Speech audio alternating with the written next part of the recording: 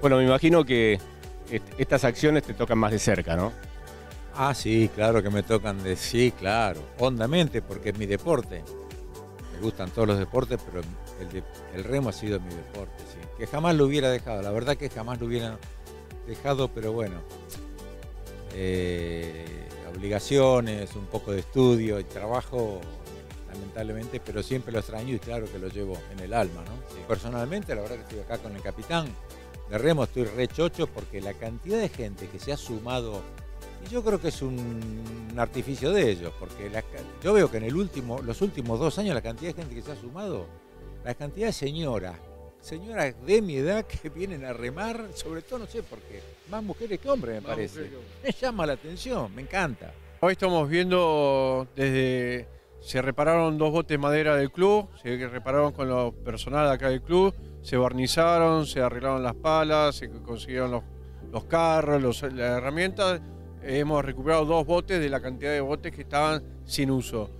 Por otra parte, eh, el club adquirió un doble par de fibra, que es fabricación de Santiago Fernández, del Pollo, que bueno, es otro esfuerzo grande que hizo el club para poder ir sumando esa cantidad de socios nuevos que están aparte eh, compitiendo en travesía, haciendo salidas en grupo. Necesitamos tener la capacidad de materiales como para que eso darle el servicio al socio y podamos eh, conseguir más socios todavía para el bienestar del club, ¿no? Es grande, ¿no? Además, Y además, bueno, los padres vienen haciendo un esfuerzo juntando plata de, con fiestas, rifas y otros elementos. Eh, hemos adquirido un, un remorgómetro eh, norteamericano, es, es un, simulador de remo que es el que usa mundialmente todas las selecciones de remo. Con esto los chicos cuando no se puede salir a remar o hacer entrenamiento en tierra usan esto o para hacer testeo.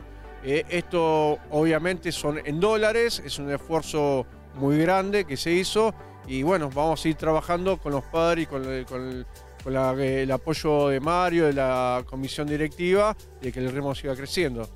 Qué bueno, ¿no? Que se involucre la familia y también qué bueno que te empiecen a conocer los más chicos. Hoy veo familia involucrada, chicos, chicos, chicos, chicos de todas las edades. Estos chicos van a ser los futuros, van a ser, eh, si, si continúan, van a ser excepcionales en lo de ellos, no me cabe duda.